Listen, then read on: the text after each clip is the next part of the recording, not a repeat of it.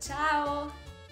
Io sono Elisa Lombardi e ho iniziato a frequentare la Max Ballet nel 2004. Ho fatto l'Accademia di Musical per due anni, poi ho continuato comunque ad andare e per me sono stati due anni bellissimi di cui ho dei ricordi indelebili, tra cui il primo provino che io ho fatto in segreto perché i miei non lo sapevano e, e veramente mi dispiace che non ci sia questa festa in presenza perché vi avrei riabbracciato tutti e, io niente, ho solo un cuore pieno di gratitudine verso ognuno di voi e, e speriamo di riuscire presto a ritornare a fare questo lavoro. Vi mando un abbraccio enorme e mm, grazie.